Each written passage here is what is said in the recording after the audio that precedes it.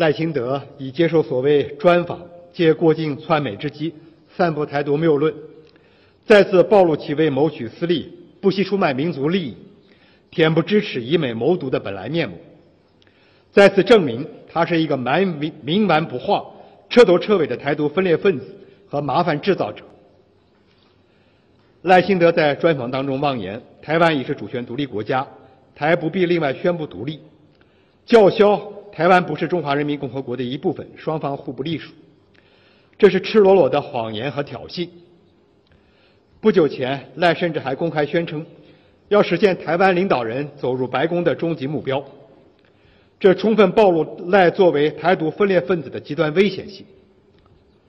世界上只有一个中国，台湾是中国的一部分，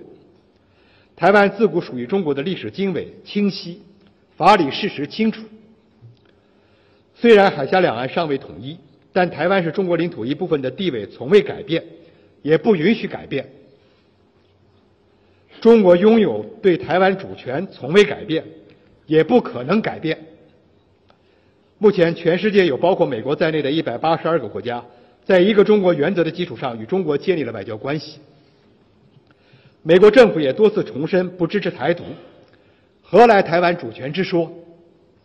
台湾从来不是一个国家，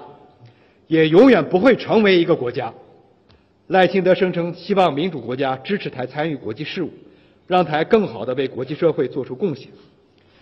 这是借台湾所谓国际参与问题搞政治操弄的惯用伎俩。台湾作为中国的一部分，没有任何根据、理由或权利参加只有主权国家才能参加的国际组织。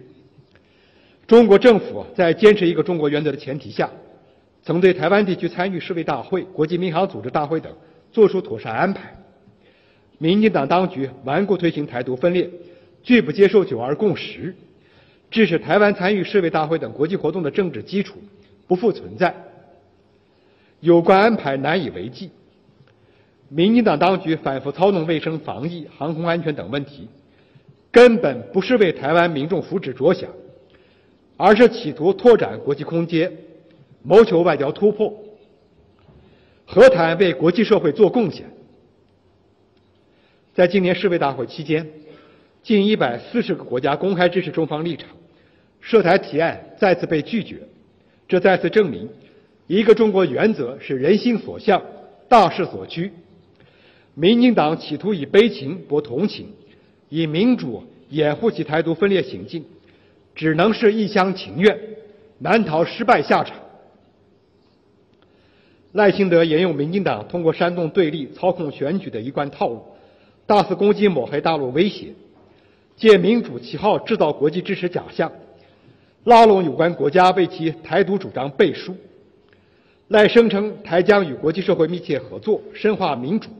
美国会继续支持台，实质是欺骗国际社会，为其选举造势，攀附外部势力，为其谋独撑腰。是赖清德抱美大腿、以美谋独的又一表演，再次凸显其务实台独工作者的本性。赖谋求以务实为掩护，用民主做包装，借和平来粉饰，企图洗脱各方对其台独底色的高度疑虑，却难掩其包藏的台独分裂祸心，只会给台海和平稳定带来巨大危害，只会将台湾推向兵凶战危的险境。只会给广大台湾同胞带来深重祸害。台独是绝路，台独分子以美谋独，绝不可能得逞。我们将从国际社会一道，坚定维护一个中国原则，坚定捍卫国家主权和领土完整，坚决反对台独分裂和外部势力对其纵容支持。解决台湾问题，实现祖国完全统一，是全体中华儿女的共同愿望。也是改变不了的历史大事。